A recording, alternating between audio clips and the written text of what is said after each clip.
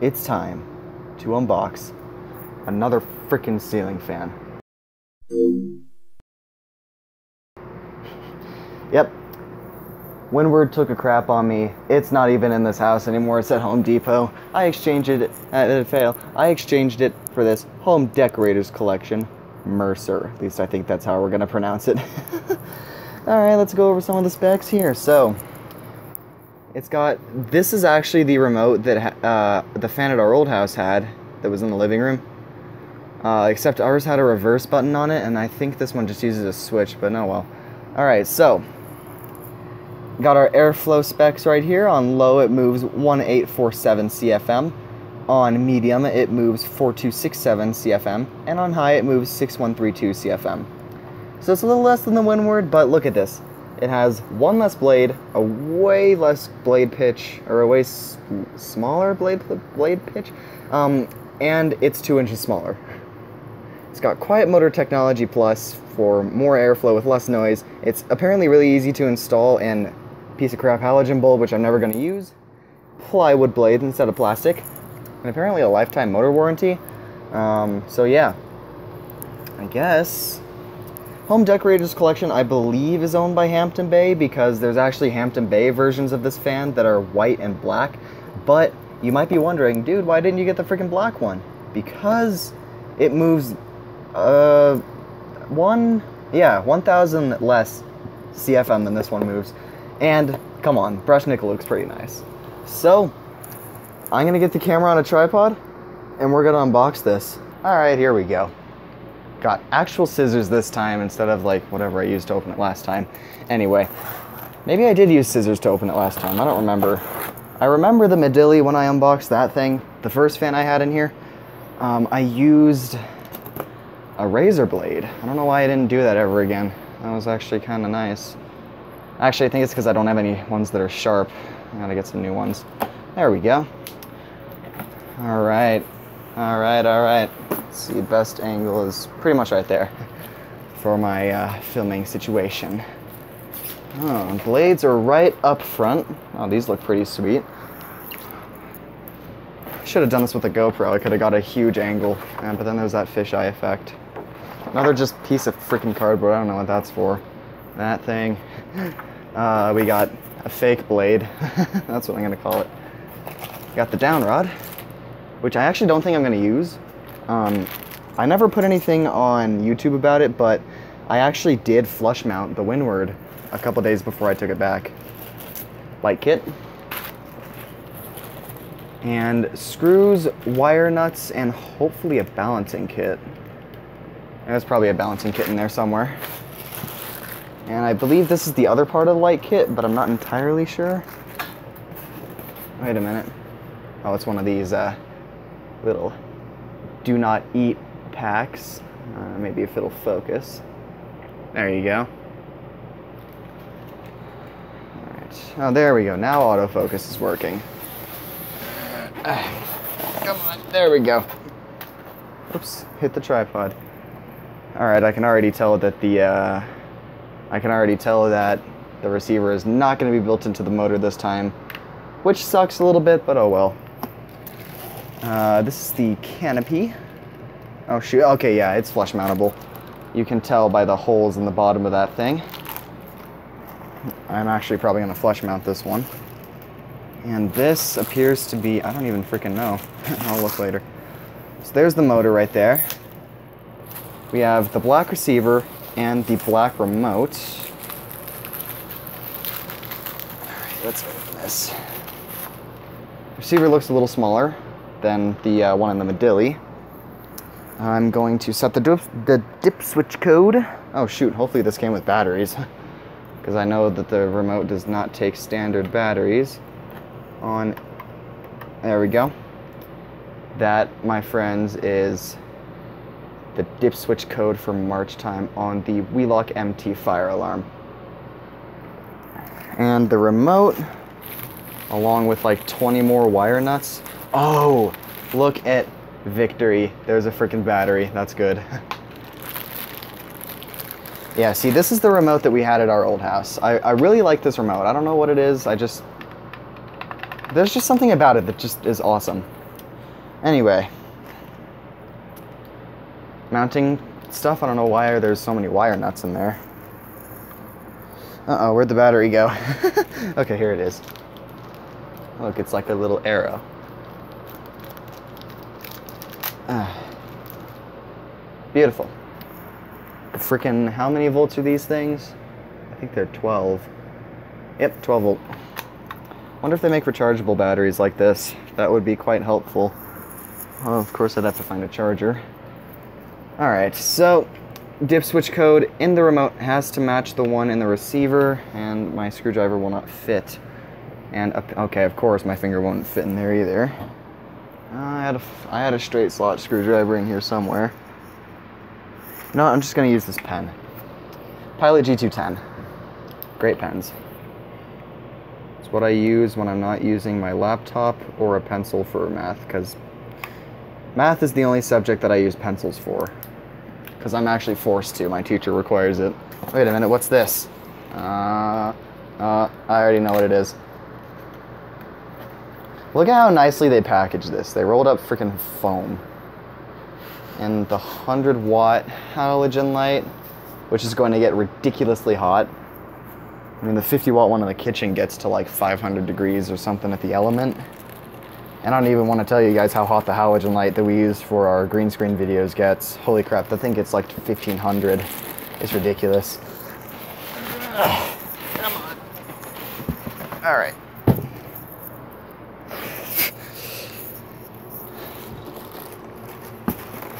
I'm not going to be defeated by a box. Okay, there we go.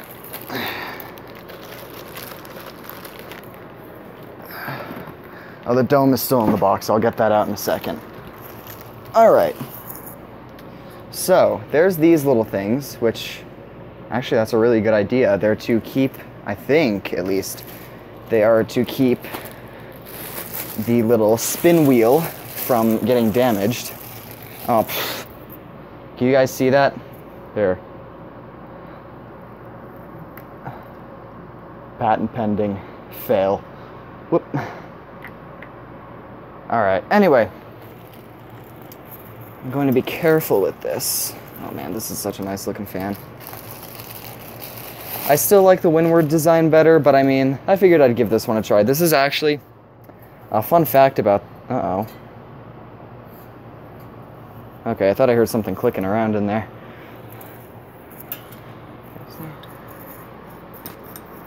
Okay. It's this thing. That's fine. Device battery power low. Great. It's what I get for using a phone to record videos. I want to get a DSLR. I used one for the first time at school today. Holy crap, that was awesome. Alright, let's take this thing out. We don't need this. Because I will be flush mounting it after all. Let's see if I even can get it out. Oh shoot, I still have the uh, I believe this is called a cotter pin. This little pin right here. And something else from this this little rod thing. I still have that from the um, Windward. Oops, oh well, hopefully they won't mind. Of course you can spin that. Oh yeah, there's the reverse switch. See, it told you. Oh well. I had two months with the fan with the switch or the reverse thing in the remote control. All right, so let me get the canopy, which is this thing.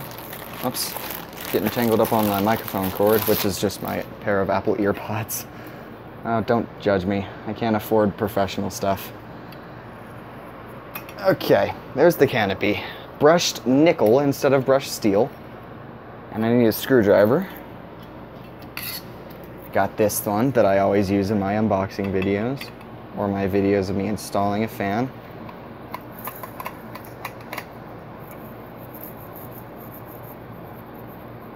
Alright, there we go. Beautiful, beautiful. These are the ones that have to come all the way out.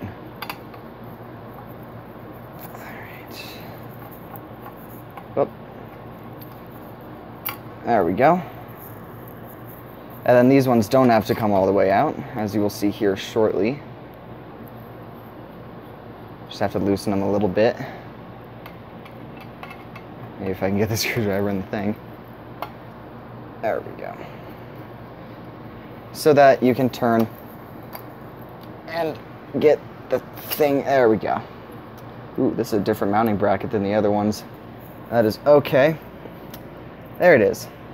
So, next up, this thing has to come out. This little ring. See these screws? Those have to go in there. That's how you flush mount it. Yeah, let's see. Maybe if I poke it out with the screwdriver.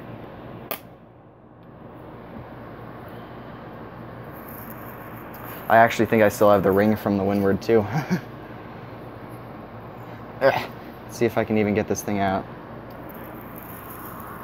See, now I need the straight slot screwdriver. Where did you go? There it is.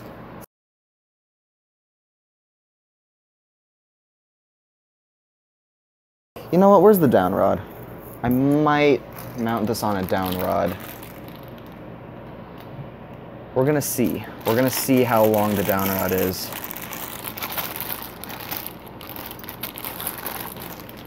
I don't know though.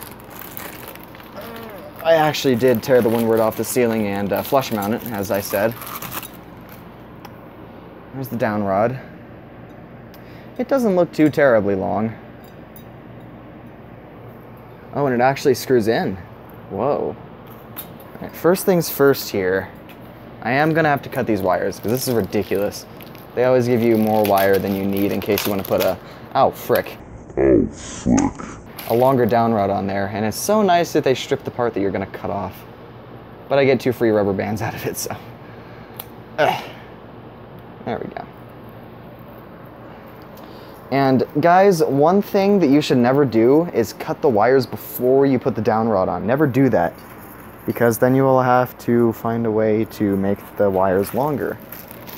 And another thing you should never do is put the down rod on before you put this part of the fan on. I did that with the Windward. All right, there's that. Make it look all nice.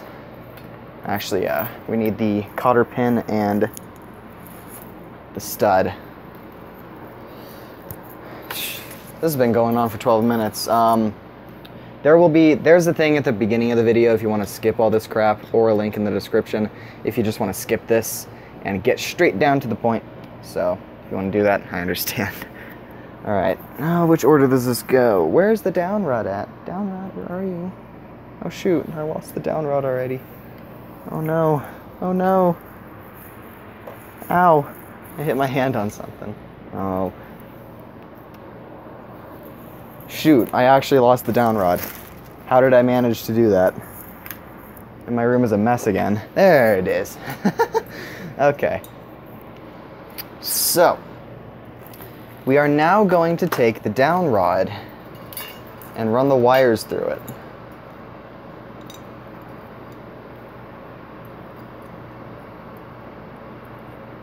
Come on now. There we go. Man, the lighting is terrible, and I apologize for that, but phone battery. It's one of the complications I have using a phone as the best camera I have. Samsung Galaxy S5, not even an S6, guys. Don't get the S6, it's a piece of crap. It doesn't have expandable storage, which doesn't make any sense to me at all. Okay, how are we supposed to get this in there? Because I know it threads in. You can see the threads on there easily. I just have to be careful not to cross thread it. Come on, man. You install sprinklers. You know how to thread stuff into stuff. Oh, I'm cross threading it. Okay.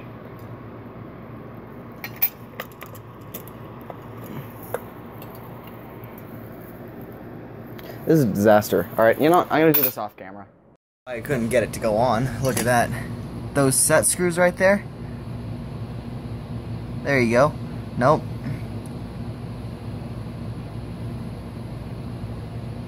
There, that's close enough. Those were tightened too tight. So yeah, I'm gonna put the camera back on a tripod, and I'm gonna do a time lapse of me putting this thing up.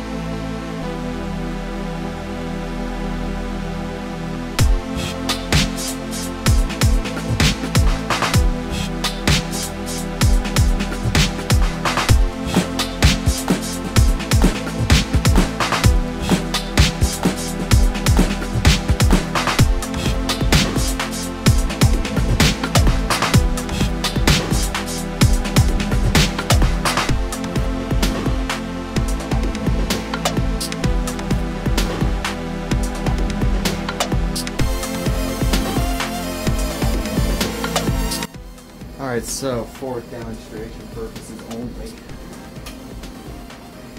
Frick. Oh, that was interesting. He's leaning to one side. Alright, we're doing this. Two blade operation. Start on low.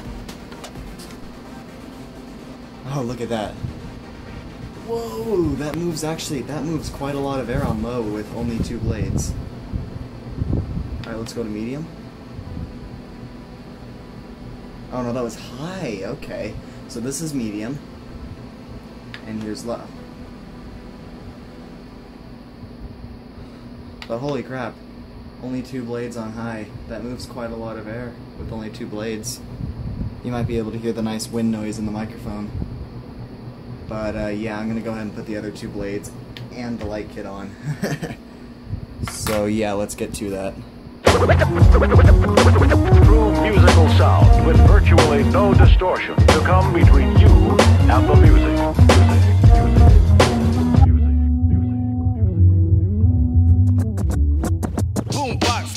Alright, for some reason, even though my phone is plugged in, it still will not let me use the flash until the battery level gets to above 15%, so whatever.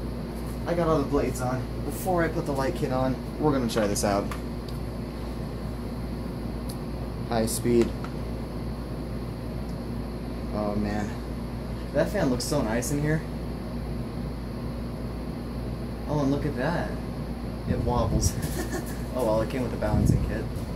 And it moves a decent amount of air, as you are probably able to hear. Yeah. That moves actually quite a lot of air for uh, only having a 14 degree blade pitch. So yeah, let's go ahead and put the light kit on that thing.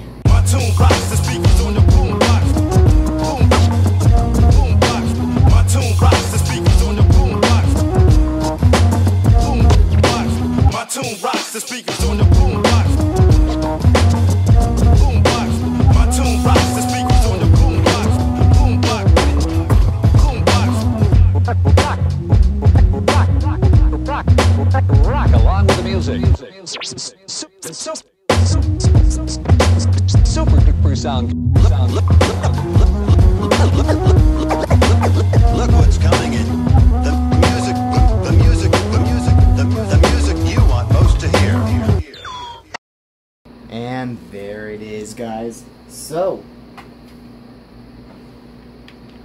light, I have it dimmed all the way down because I will never use this feature.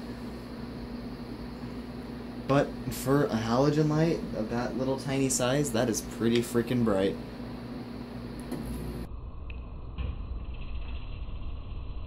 Oh, you can see it flicker when the uh, air conditioner kicks on.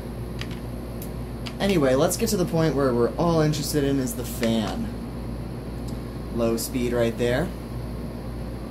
That's for days where you want airflow, but you don't want it to be noticeable. This is moving 1,000 something cubic feet per minute. And here's medium.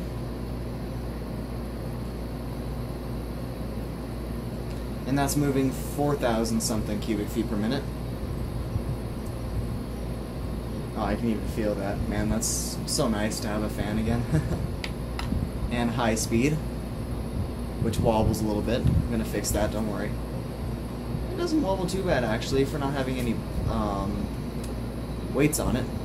But yeah, there you guys go. So that's it for yet another ceiling fan unboxing video. Hopefully the last one until I move out of this house because yes, I'm only 14. Of course I live with my parents.